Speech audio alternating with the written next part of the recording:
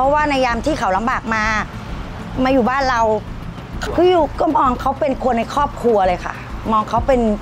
ก็ไว้ใจอะแล้วก็เอ็นดู แล้วก็เขาเป็นคนในครอบครัวเรามองว่าอย่างนี้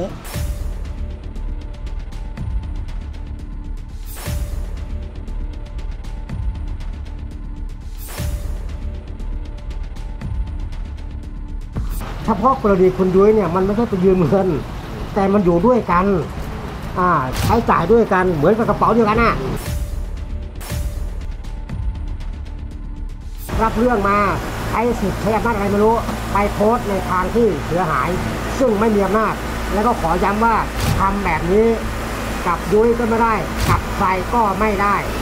ที่กฎหมายครับ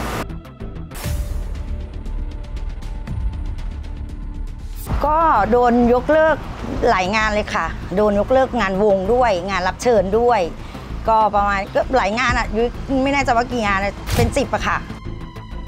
จากกรณีแฟนคลับรายหนึ่งค่ะท่านผู้ชมได้ออกมาแชร์ลูกทุ่งญาติเยอะอักษรย่อยอยักษ์ยืมเงินแล้วไม่คืน เป็นจำนวนกว่า 3 0 0แสนบาท โดยขอยืมเงินตั้งแต่หลักร้อยจนถึงหลักหมื่นรวมแล้วกว่า 112 ครั้ง ต่อมาได้ถูกบล็อกทุกช่องทางทำให้ต้องเข้าแจ้งความ ที่สพพระพุทธบาทจังหวัดสระบุรีในวันที่ 21 กุมภาพันธ์ที่เพิ่งจะผ่านมานี้ทำเอาชาวเน็ตพุ่งเป้าไปที่ยุยญาติเยอะ ว่าเป็นนักร้องคนดังกล่าว จนกระทั่งต่อมายุยญาติเยอะได้มีการออกมาโพสต์ข้อความอธิบายผ่านทาง Facebook ส่วนตัว รวมทั้งได้งัดคลิปเสียงค่ะ เพื่อยืนยันว่าเจ้าตัวได้นัดคู่กรณี เพื่อเคลียร์เรื่องเงินแล้วที่ผ่านมาได้ไกล่เกลี่ยกับแฟนคลับไปแล้วครั้งหนึ่ง อยากให้ฟังความทั้งสองฝ่าย หากผิดจริง เธอก็พร้อมที่จะยอมรับ จนกระทั่งล่าสุดค่ะท่านผู้ชม วันที่ 14 มีนาคมที่ผ่านมานี้นะคะ คุณยุยญาติเยอะค่ะ พร้อมกับทนายความนายสุภพัฒน์พจน์นะคะ ได้เดินหน้าเข้าแจ้งความตรวจสอบเอาผิดต้นอ้อเป็นหนึ่งเพจดังทนายความลูกทีมโพสต์หมิ่นผ่านโซเชียลเจ้าตัวเผยพร้อมเคลียร์กับแฟนคลับอยู่แล้วรอแค่สลิปยอดเงินที่เป็นหนี้แต่ยังไม่ได้รับ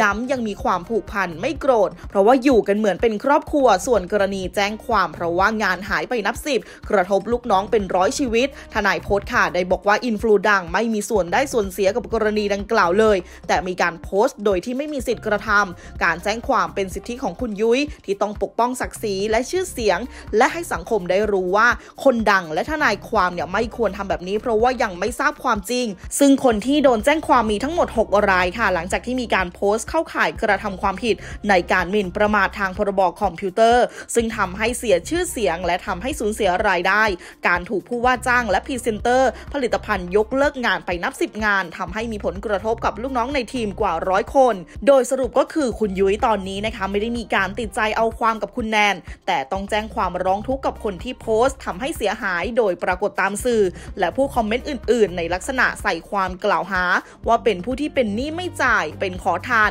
ซื้อกาแฟไม่จ่ายทำให้เกิดความเสียหายเป็นวงกว้างจากการทำงานในวงการลูกทุ่งกว่า 30 ปี ซึ่งหากพนักงานสอบสวนตรวจสอบพบว่ารายใดเข้าข่ายกระทำดูหมิ่นหมิ่นประมาทให้ร้าย ก็จะแจ้งความดำเนินคดีโดยทันที ขณะที่คุณยุ้ยญาติเยอะค่ะก็บอกว่า การมีปัญหากับแนนเบื้องต้น เกิดจากที่แนนมาอยู่กับเรานานนับปี ซึ่งอดีตสามีก็จะมีการติดตามมาที่เราหากติดต่อแนนไม่ได้ เราก็หนักใจที่จะต้องคอยแบกรับปัญหาเมื่อบอกไปแล้วก็เกิดปัญหาดังกล่าว และไม่คิดว่าเรื่องนี้จะกลับมาทำร้ายเรา แต่ทุกวันนี้ก็ยังมองว่าแนนเป็นคนในครอบครัวยังรู้สึกดีเขาใช้เงินกระเป๋าเดียวกันกับเรา กินเที่ยวอยู่ที่เรา ซึ่งวันนี้ก็ยังคิดแต่เรื่องดีๆ กับแนนอยู่เสมอ ไม่คิดเอาความเรื่องสลิป หากได้มาก็ต้องมานั่งคุยกัน พร้อมที่จะโอนให้ทันทีเผยวันนี้ผลกระทบที่ได้รับนะคะ ครอบครัวของเรา เพราะว่าเราเนี่ยต้องใช้ชื่อเสียงในการทำมาหากิน ตอนนี้โดนตัดงานยกเลิกมัดจำไปแล้วกว่า 10งานพรีเซนเตอร์ก็ถูกยกเลิกถึงแม้ว่ายอดหนี้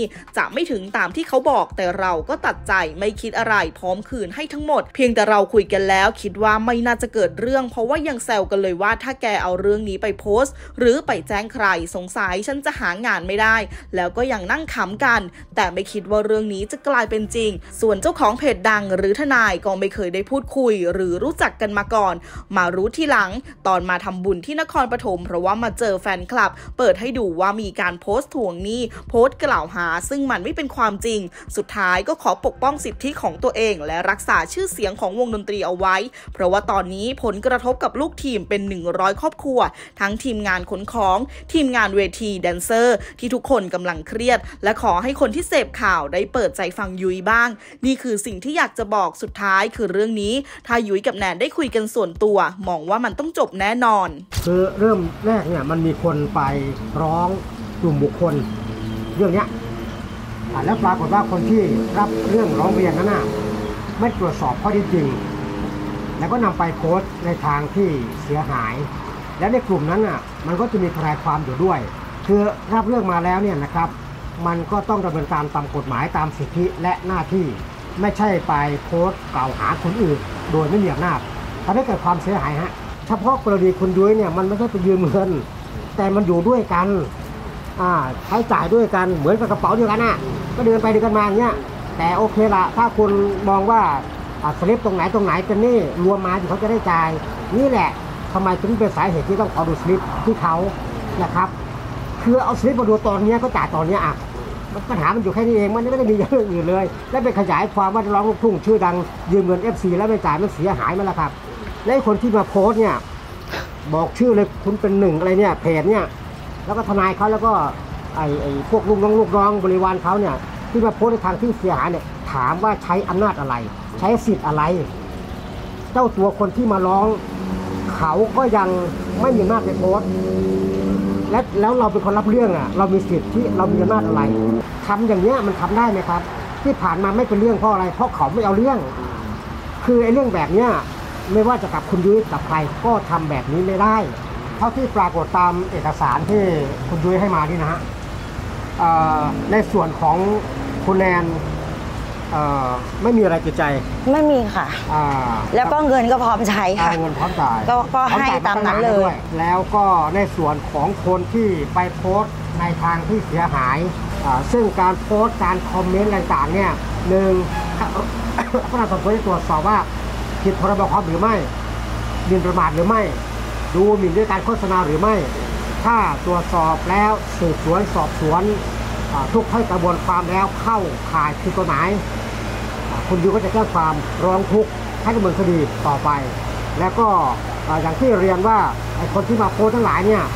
มันไม่ใช่เจ้าตัวที่มาร้องเลย แต่เป็นใครก็ไม่รู้รับเรื่องมา ช้สิทธิ์ใช้อำนาจอะไรไม่รู้ ไปโพสต์ในทางที่เสียหาย ซึ่งไม่มีอำนาจ แล้วก็ขอย้ำว่าทำแบบนี้กับยุ้ยก็ไม่ได้ กับใครก็ไม่ได้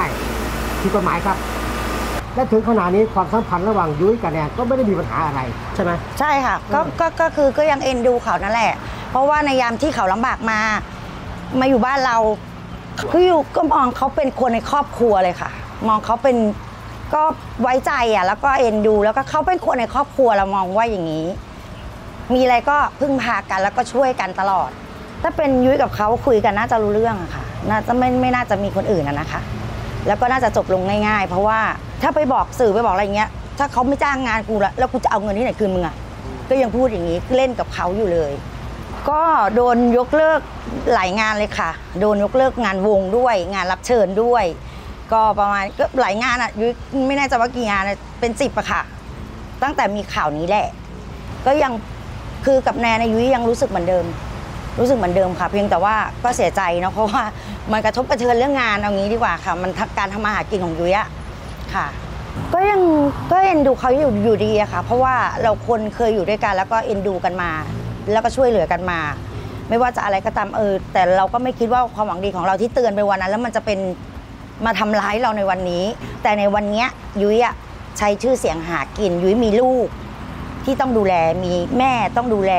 แล้วนอกเหนือจากนั้นยุ้ยเปิดวง ซึ่งเป็นเป็นวงดนตรีใหญ่อะแล้วก็มีนักดนตรีมีคอนวอยมีหางเครื่อง ซึ่งมันอีกหลายครอบครัวเป็นร้อยครอบครัวเลยอย่างเงี้ยที่เขาจะต้องไปดูแลท่านผู้ชมคะเรียกได้ว่างานนี้อาจจะเกมพลิกซะแล้วค่ะสุดท้ายเรื่องราวจะเป็นอย่างไรต่อ คงต้องรอติดตามกันต่อไปค่ะ ถ้าไม่อยากพลาดข่าวบันเทิงแซ่บๆก่อนใคร อย่าลืมกดไลค์ กดแชร์ กด Subscribe YouTube Channel Top ดาราและแพลตฟอร์มอื่นๆของ Top ดารานะคะ